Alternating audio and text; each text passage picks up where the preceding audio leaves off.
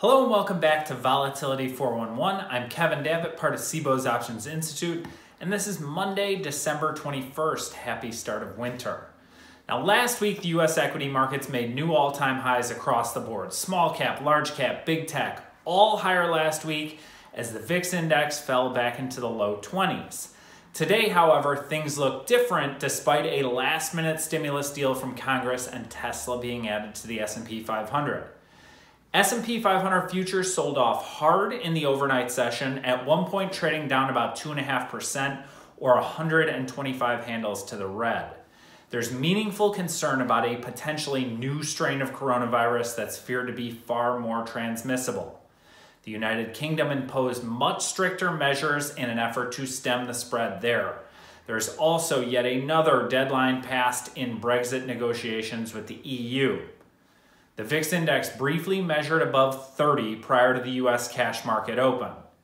January VIX futures, which are now front month, traded as high as 2780.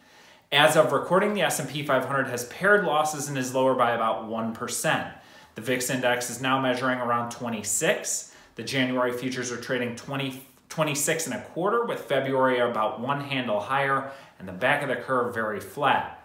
Now on the options side of the board, there's a few January call spreads trading in early action.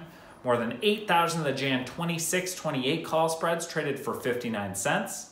And then the Jan 32 half, 37 half call spreads traded for 63 cents.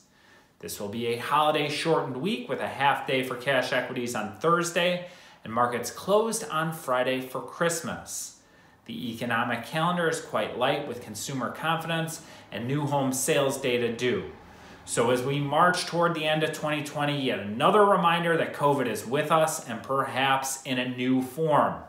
Happy holidays to all. Thanks for watching this year and please stay tuned in 2021.